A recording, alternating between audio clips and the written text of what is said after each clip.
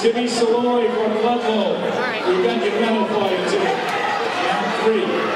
Timmy Saloy from Ludlow.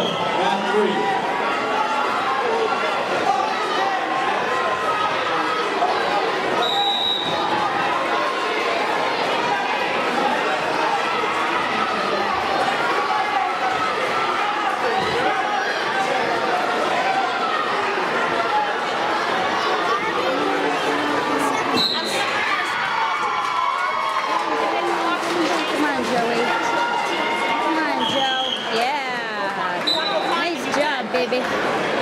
Yeah, I think they're done.